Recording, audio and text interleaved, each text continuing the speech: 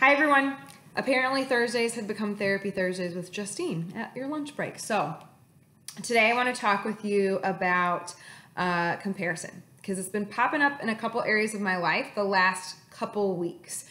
Um, a few weeks ago, I did a speaking engagement at an infertility conference, and the keynote speaker got some uh, flack uh, because people said she didn't suffer enough. Um, she only had to do IVF once.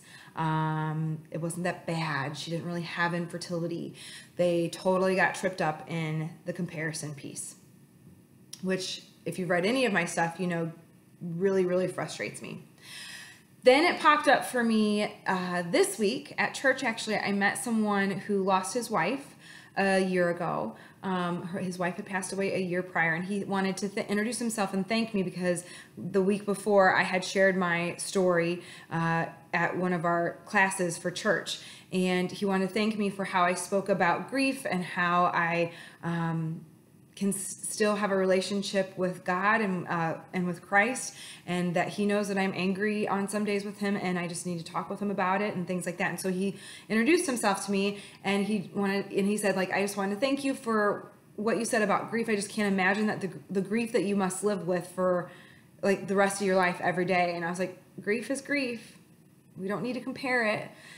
And I told him about one of my most favorite blog posts that I wrote. It's been years ago at this point. Loss is loss, because um, he it reminded me of that. Like it was just like this another kind of like slap in the face of like, oh my god, why are we comparing so much? And years ago, I had a client who had lost her 17 year old daughter in an accident. And um, in one of our sessions, she looked at me and she said, Is it better that I got 17 years with my daughter? Or better that you never met yours? And I took a breath and I said, What if instead we just looked at each other like mothers who lost their children? Neither one is better or worse. Both suck pretty bad. Plus, when we compare it and ask ourselves which is worse, it's disconnection. We only feel more alone in it. We must stop comparing losses it just it disconnects us. It doesn't work. So I don't know. It kept popping up in all of my readings and um, in all in these two situations, and so I felt pulled to like do a little research and share it with you. So I pulled a couple quotes that I just wanted to share with you because I loved the quotes. Like obviously we've all heard the quote like comparison is the thief of or the death of blank happiness joy whatever fill in the blank i mean who even knows who coined that quote at this point. Um, I pulled one from Iyanla Vanzant. Vansant. I have no idea if I'm saying that right. I even looked it up on Google several times and I don't know if I'm saying it right. But I love her quote. Comparison, comparison is an act of violence against the self. Comparison is the act of violence against the self. It's an incredible quote. Then Oscar Wilde. We are all in the gutter, but some of us are looking at the stars. In other words, we're all in this together. Some of us choose to look up.